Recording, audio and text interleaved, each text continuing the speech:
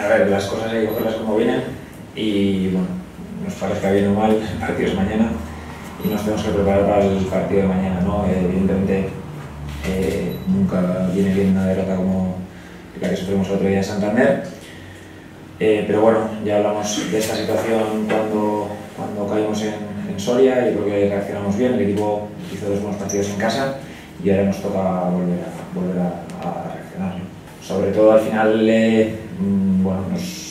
el partido, las derrotas al final nunca, nunca vienen bien, pero es verdad que podemos sacar conclusiones, ¿no? Y, bueno, sobre todo la, forma de recibir los goles, los dos goles de la primera parte en, los que yo creo que se nos va el partido, al final damos demasiadas facilidades al rival, al final, eh, bueno, que te hagan un gol mmm, que te la roba el delantero y que te meta gol directamente, o otro robo que es con pase y gol, al final son goles que, que para competir en, en, en, esta categoría no te puedes permitir, ¿no? Al final el, el, hay que obligar al rival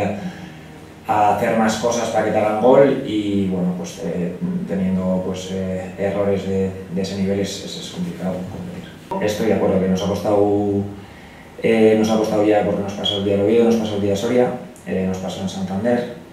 eh, al final goles en, en, inicio de balón, además en primera línea, no es que al final te roben el balón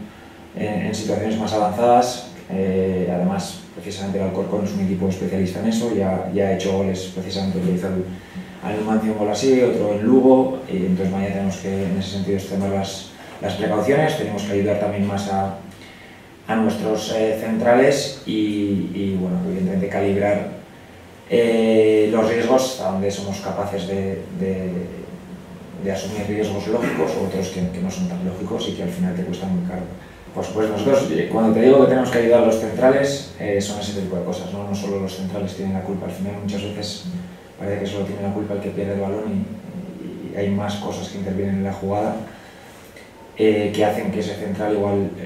sea el que, el que pierda el balón, ¿no? Entonces,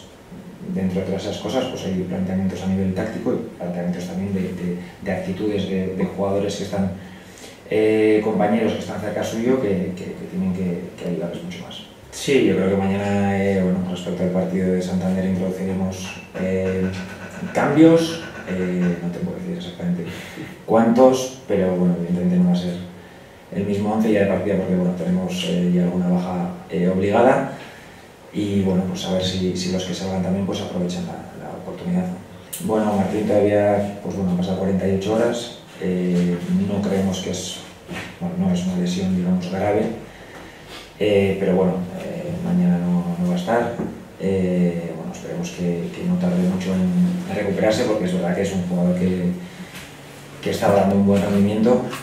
y bueno, que es evidente que es normal que no tenemos su, su ausencia. No, yo creo que, que, como has dicho tú, en la segunda parte el equipo salió bien. De hecho, yo creo que nos hacen el tercero en la primera vez que, nos llegan ellos en la segunda parte. Yo creo que en ese tramo estábamos en ese punto que si haces un gol te vuelves a enganchar al partido y, le vuelves a, pelear. Eh, pero es verdad que después del, tercer gol, eh, bueno, ya se nos pusieron las, cosas muy difíciles. Eh, no creo que el, equipo bajara los brazos pero evidentemente a nivel de, de resultado pues ya era muy complicado sacar, sacar puntos. Al final solo hemos entrenado, digamos el entrenamiento de ayer, que al final es después del partido, pues es evidentemente más eh, regenerativo que, que, otra cosa y hoy otra vez nos tenemos que, eh, que poner las pilas para, para, mañana, entrenar bien eh, y, bueno, pues pensar solo en el, Alcorcón porque no, no, hay, no tiempo para más. El Alcorcón es un equipo que bueno, los números están ahí, fuera de casa yo creo que es el mejor equipo de la categoría hasta ahora. Es un equipo que aprieta muy arriba, eh, hace muy bien la presión, al final eh, normalmente suelen tener el equipo junto,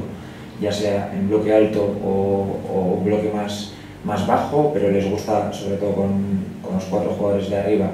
jugar muy altos, tienen jugadores que leen muy bien las segundas jugadas y a partir de ahí